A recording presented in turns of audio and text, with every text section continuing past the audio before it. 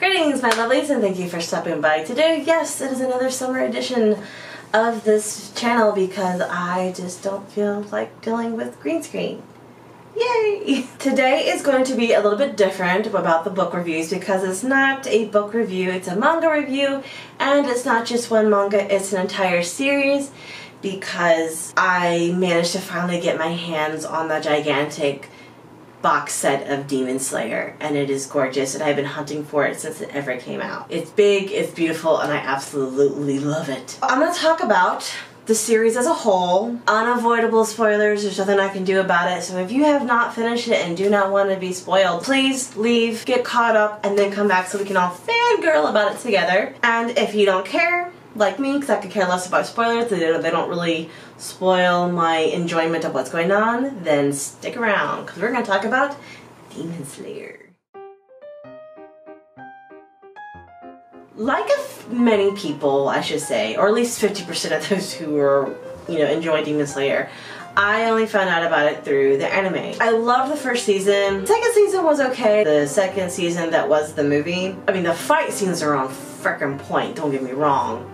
But we just finished the Entertainment District arc and oh my god, that one was so so good. Oh my fucking god. When I say that I was excited to finally get that just giant ass box set so I can just binge read up ahead of, it, of everything so I can know what's going on because I don't want to wait. I was so excited. but before I ramble on further, you know, we gotta do my segments. So let's go ahead and just talk about the world and the premise of this entire series. I cannot for the life of me remember what period this sort of starts off in. I know that it is in the time period of where there are a bit more technological advances like trains and electricity and guns and they're sort of shifting away from the time of the sword. However, in the more rural areas it is still very like, you know, old-fashioned. But in this world, there are these monsters that are called demons but they're not like demons in like the western sense. They're demons as in they are vampires. Which is very similar to another series that i read uh, the devil's line which actually is coming out with another oh another arc line and i'm so excited. Stop fangirling about one thing. Stick to the one thing i'm talking about. So these demons feast on humans and then they gain like supernatural abilities.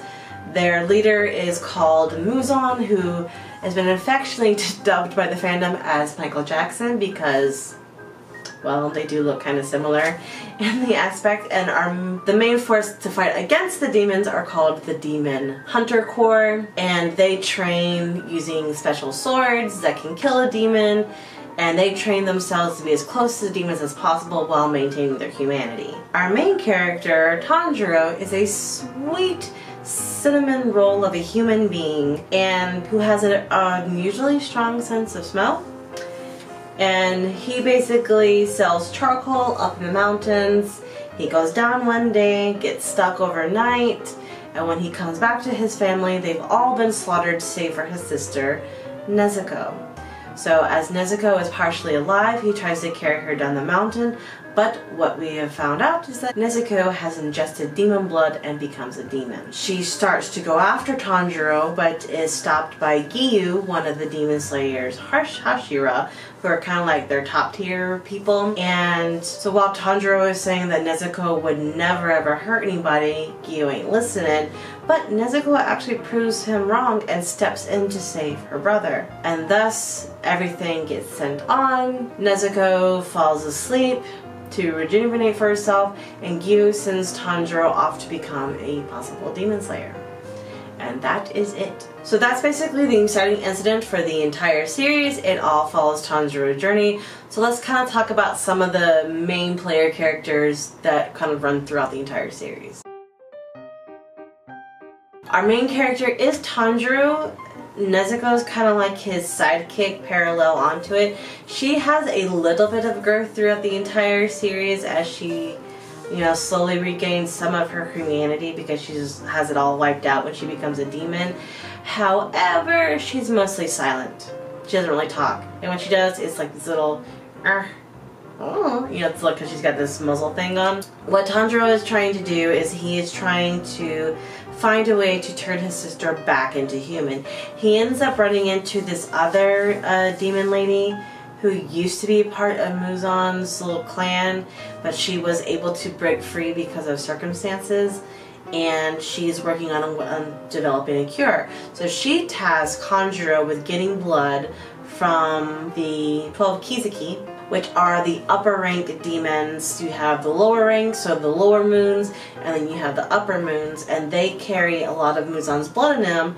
So that is sort of like the one way that she can sort of retrofit the virus and develop a cure. After Tanjiro gets his sword and he goes off, he ends up running into Zenitsu, who is trained in the Star of Thunder Breathing.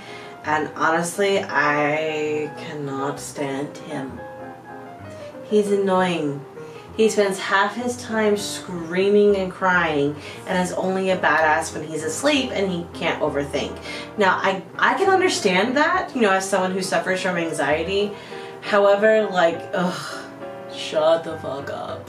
My favorite character, however, is Inosuke because he's just an absolute feral goblin. And he was also voiced by Bryce Papenbrook, who I absolutely adore. But he is absolutely beautiful, but he runs around wearing a boar's head and these like dented up swords and he developed his own style of fighting called uh, beast breathing and he's just pure chaos and I absolutely love him. Along the way we meet a lot of the Hashira, we meet the Flame Hashira, the Sound Hashira, Giyu's, the Water Hashira, we kind of meet all of them kind of, you know, in the thing and as they go on. But yeah, those are kind of pretty much the main players outside of Muzan. There are literally way too many characters to talk about in their entirety, but those are kind of like the main players. It's those little three, plus Nezuko, and then go off and meet all these other people. Overall thoughts. As a whole, I absolutely love the series. There are a lot of like friends and family power-ups to coin Roshi, which is one of my favorite reviewer channels. However, you know, that is just typical for this sort of the shonen genre. My favorite arcs. I will have to say that my favorite arcs out of the entire series is definitely the entertainment district arc. However, I will have to say like when it comes to like the manga, probably like the first intro arc until he gets to like the, he has to fight the demons on the mountains for like seven days and survive. The last arc felt like it went on forever fighting wise. I kind of didn't care about some of the character deaths because, you know, don't really get to spend a lot of time with them. Although that might change with the show as these things get animated because I did not care for Uzui the Sound Hashira at first, um, but did definitely kind of like him at towards the end after all the fighting. And no, I don't want to be a fourth wife of his. I just, he is an awesomely badass character, let's just say that much. I was bawling by the end of it. My husband was laughing at me because I was crying. I told him to shut up.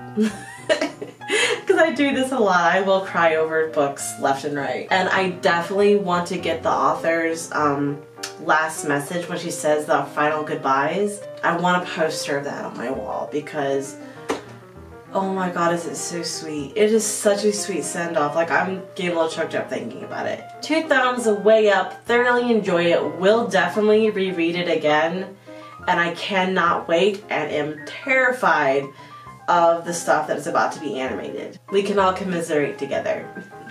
If you've read Demon Slayer or if you have another manga series that you think I should check out, please uh, give me a comment down below. Let me know what your thoughts are and your recommendations. If you want to see more things like this, be sure to give me a thumbs up. That lets me know that you like what I'm doing. Other than that, I will see you all next time. Bye!